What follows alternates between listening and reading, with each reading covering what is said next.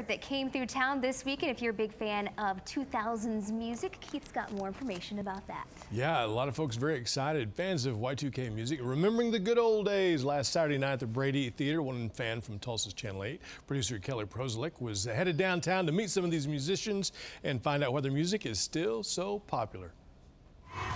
The 2000s, the next decade, the double zeros, the new millennium, or Y2K. Whatever you choose to call it, it was a new era for music, a chance for artists to really make their names known.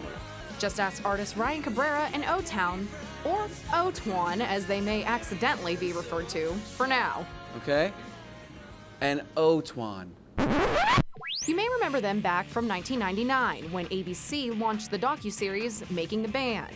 Trevor, Eric, Jacob, Dan, and Ashley formed O Town and quickly rose to platinum success on the airwaves with their hit singles Liquid Dreams and All or Nothing. And you may remember Cabrera by this song.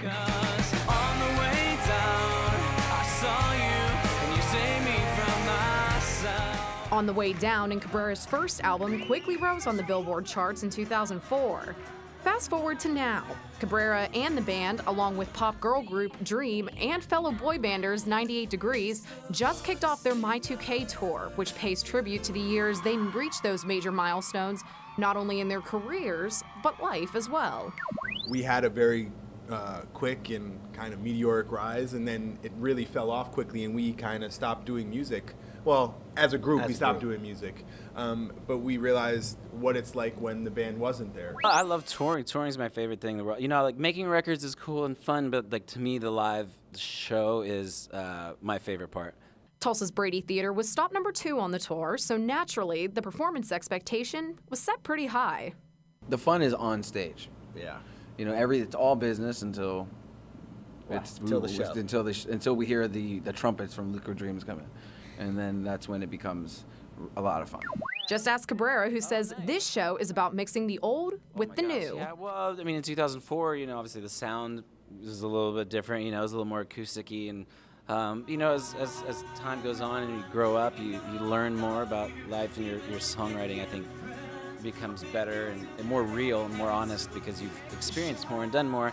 So now with like the new music, I think that that kind of comes through. For O Town and Dream, they say it's the first time they've done a major tour in, well, a decade. We've been consistently touring, but not two months gone. So we're back to like, hey, how did we pack for two months? And hmm. Like the little simple things that we forgot, like how to, it was to tour, you know, 300 plus shows a year, like we used to. And with 10 years of technology advancements and fresh faces hitting the charts nowadays, it can be pretty intimidating to get back on the stage. We manage the band, we do all the social media, we do our own choreography. So it's, we look at it like we're business heads of these departments and we dish out duties and it's, it's a business now. Back then it was kids and we were having fun, but we, we learned a lot. That experience taught us how to do this. But their advice to those artists with the same dreams and ambitions they had 10 years ago? Learn your craft. Don't just sit behind a computer and film yourself. Um, you know, it's great. Like, use those tools. Obviously, YouTube is amazing. You know, and internet, uh, Instagram and Twitter. Like, those are great tools but you know, going out and actually performing, you know, even if it's in front of one person or an empty bar, like, you know, the grassroots style, I think that's super important to learn. Do not take yourself too seriously. Have fun. Boom. Have fun, please. Have fun. Because 10 years of fun is better than none.